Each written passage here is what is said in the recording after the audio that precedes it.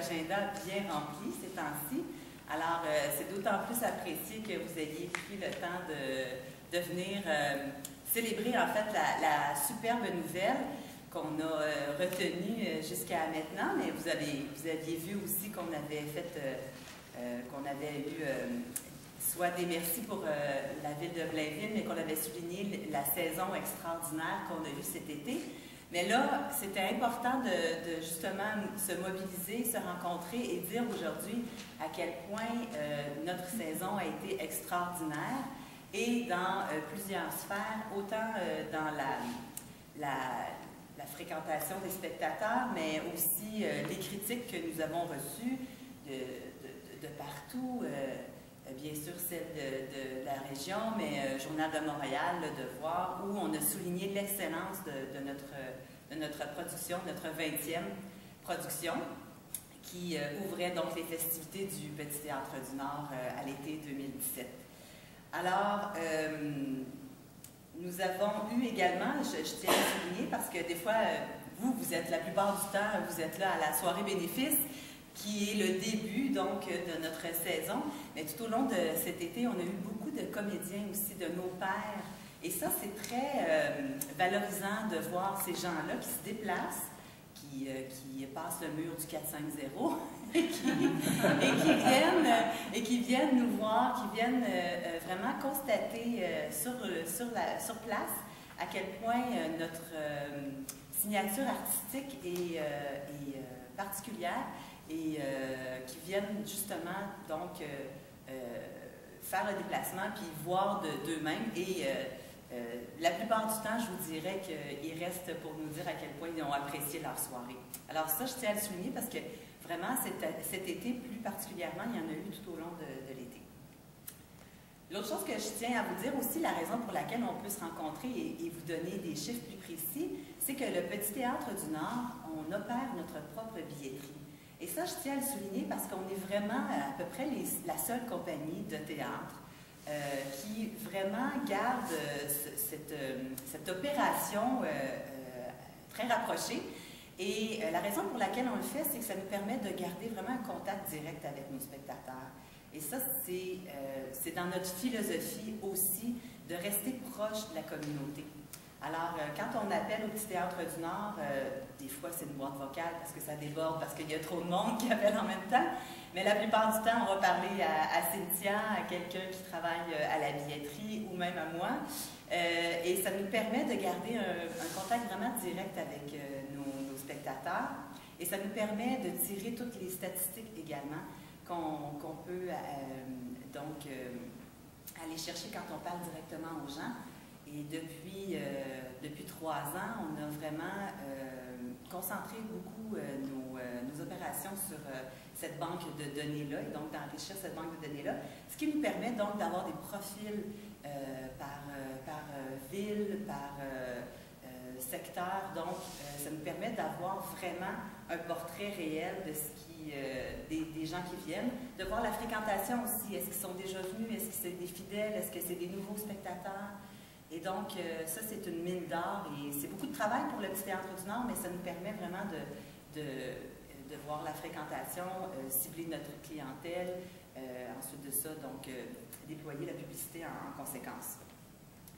Tout ça pour vous dire que nous avons eu donc une année record d'achalandage cette année avec 3550 spectateurs.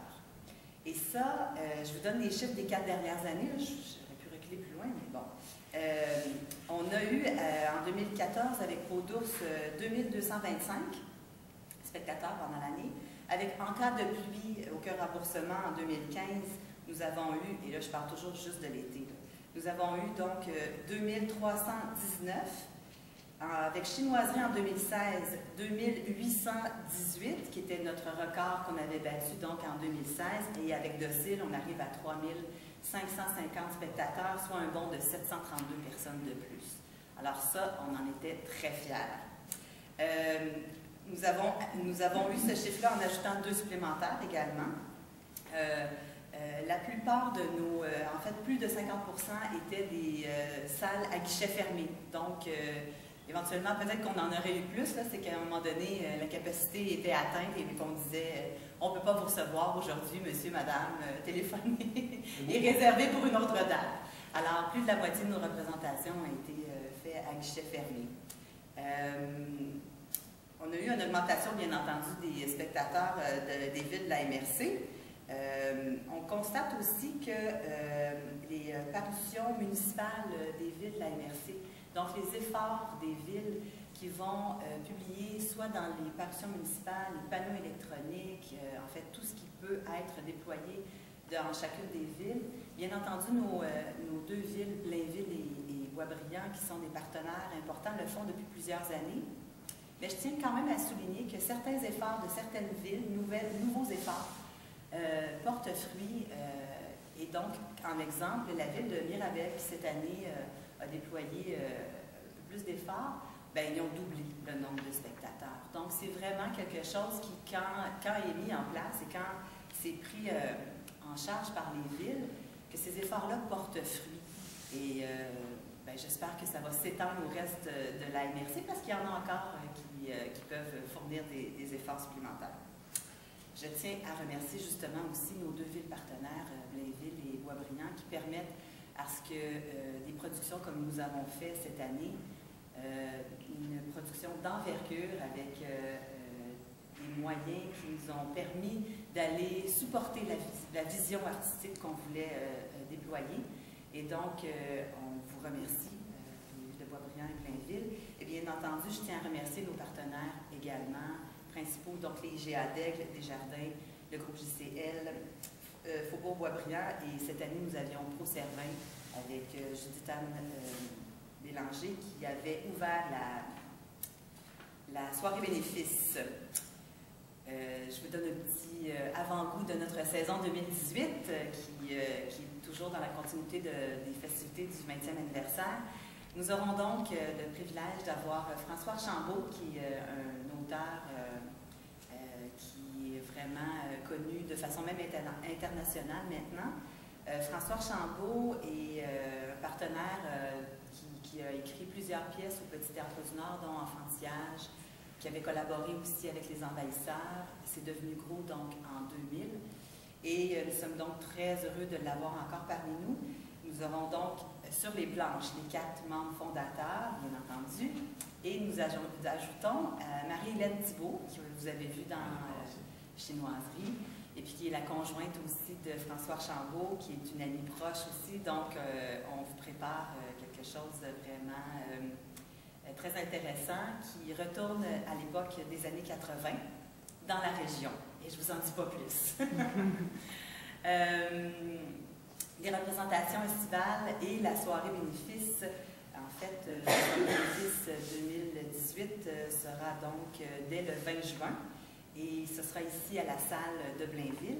Mais je vais donc céder la parole à Marlène Cordato, mairesse de Boisbriand, pour vous en parler davantage.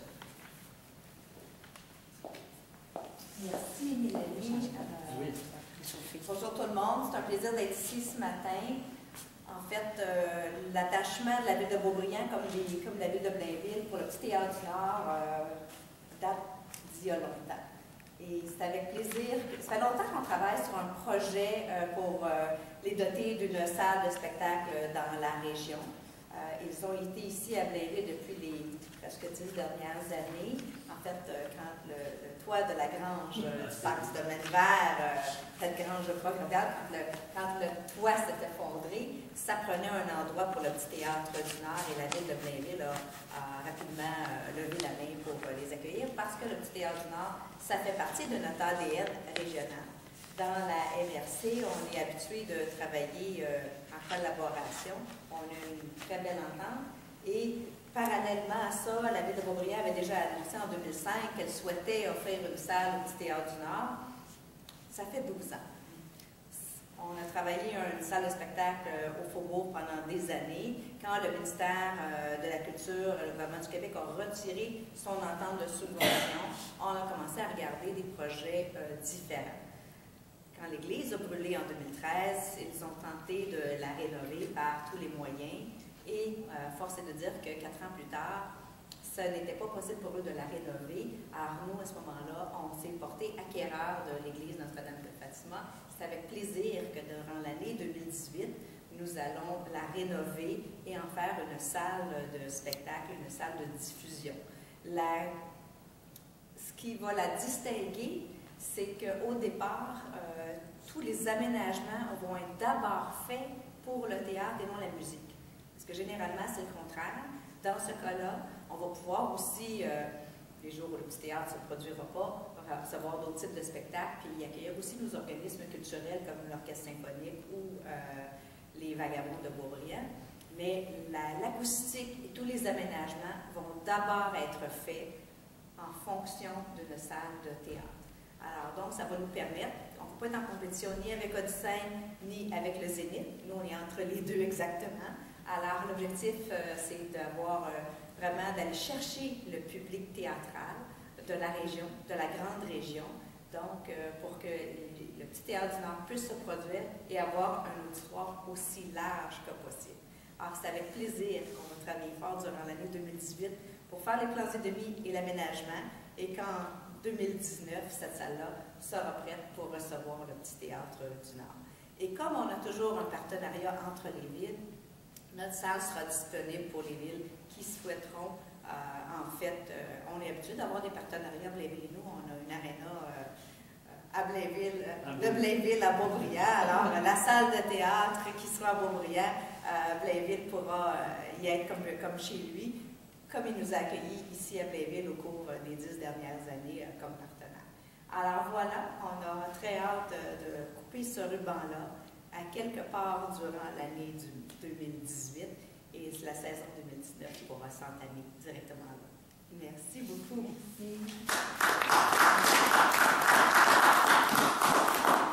Je vais laisser la parole à M. Perrault. Euh, permettez-moi deux petites secondes avant euh, de souligner aussi que le Petit Théâtre du Nord a un lien avec euh, la relève et que Claude Surprenant, député ici provincial, de Grou euh, nous permet donc euh, de, pouvoir travailler avec ces étudiants-là. Alors, excusez-moi, j'ai oublié de vous nommer. Alors, chose corrigée maintenant. Je laisse maintenant la parole à M. Perrault. Merci. Merci.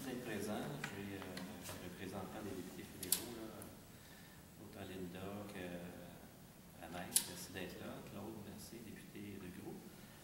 Donc, effectivement, à Blainville, depuis dix ans maintenant, le Théâtre du Nord, on se réjouit de l'énorme succès grandissant année après année. Mélanie, tantôt, euh, finalement, notre nouvelle mariée aussi, elle ne s'est pas présentée.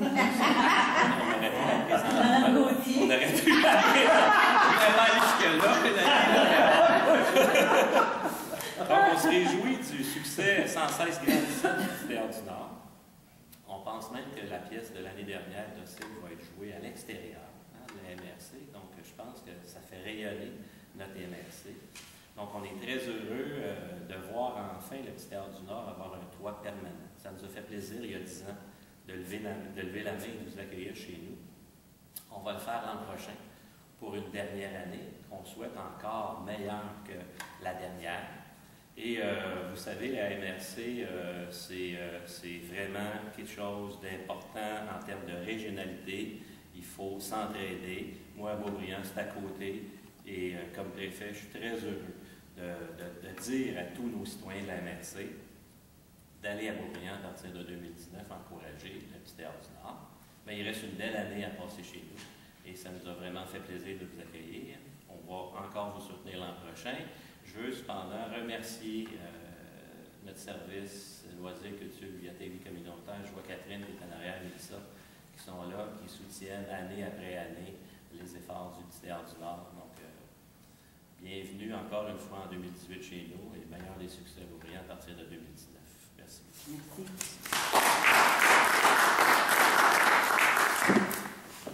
Merci infiniment. Euh, donc, s'il y a des questions, on peut procéder à une période de questions? Oui, Michel? Moi, j'en ai une. Est-ce qu'à Boisbriand, il va y avoir plus de sièges que vous en avez ici à Blainville? En fait, ce qui a été euh, prévu maintenant, au stade où on en est, on est autour de 185 sièges, ce qui est quand même euh, une augmentation.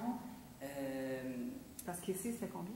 Ici, c'est en fait tout dépendant de comment on dispose la salle, mais on est entre 130 et 140 sièges. Donc, c'est une, petite augmentation. par contre, c'est volontaire qu'on ne veuille pas avoir quelque chose de trop grand, puisque le, théâtre de création, a une question de proximité, et je vous dirais même que la signature du Théâtre du Nord, elle est associée à cette, à cette salle-là intime qui fait que l'expérience est bonifiée par la proximité. Alors, on, a ça à cœur, euh, et on ne serait pas allé dans quelque chose de très, très grand. ça va être parfait. On va pouvoir faire plus de représentations quand, euh, si, la demande est là. Tu mentionnais tout à l'heure que vos pères maintenant franchissent le. Oui. Euh, est-ce que c'est la même chose pour le, public? Est-ce que vous avez un public qui vient euh, de Montréal? Oui, oui, oui, tout à fait. Euh, ça n'a pas toujours été un acquis, ça, s'est vu là, dans les, je dirais, les 7-8 dernières années. on peut constater des profils, en fait, depuis trois ans, ils sont vraiment plus clair, mais euh, il y a une bonne partie euh, euh, du, public qui vont venir de, Montréal et, d'autres régions. On a aussi des gens de Gatineau, d'un peu partout, mais ça aussi, bien entendu, cette année, ça a été en, augmentation. Hum, j'ai pas tous les chiffres parce que vous comprendrez qu'avec notre billetterie maison, c'est extrêmement complexe de, de, de répertorier toutes les données, les nettoyer, faire des statistiques. Mais euh, ça, a été, euh, ça a été une, bonne augmentation aussi cette année. Oui. Euh, donc, va prendre l'air où va être joué ailleurs dans une autre salle? en fait, on est en, exploration pour trouver d'autres endroits pour la faire à Montréal. Là, on avait bon espoir que ça soit possible chez Lucette, mais ça, on s'est fait fait dire dernièrement que ça ne sera pas possible. Vous savez qu'il y a une nouvelle euh, direction artistique qui est maintenant euh, en place et il y a beaucoup de mouvements donc, euh, dans, chez la compagnie Jean Lucet. par contre, il y a, d'autres choses qu'on voit à l'horizon et certainement, si, dans les deux prochaines années, il y aurait une tournée qui serait programmée. Tu disais tout à l'heure que d'autres villes de la MRC pourraient faire des efforts pour soutenir le théâtre du Nord. tu je les tu peux faire des efforts pour la promotion ou des, du financement? Euh, je prendrais bien les deux. euh, premièrement, dans une première étape, la promotion, euh, moi, je trouve que ça va de soi. Euh, quand on habite à quelques kilomètres, de savoir comme citoyen qu'il y a un théâtre de création qui engage des gens de la place, qui parle de nous, euh, qui engage euh, des comédiens, qui a une vie économique importante dans la région. Je trouve ça important que chaque citoyen ait au moins cette, en fait, accès à cette information-là. Et donc, ce serait, le premier pas qui, pour moi, je, dis bien pour moi, est, comme la moindre des choses. ensuite de ça, c'est sûr que financièrement, il y a une panoplie d'aides qui peut être déployée euh, pour aider le Théâtre du Nord. Euh, ça peut être des subventions euh, de billets pour venir, ça peut être l'achat d'une salle, d'une représentation par une ville qui va venir, qui va donc inviter ses citoyens. Toutes sortes de, programmes, mais de possibilités qu'on met en place. Puis je voudrais bien que chacune des villes embrasse le pas.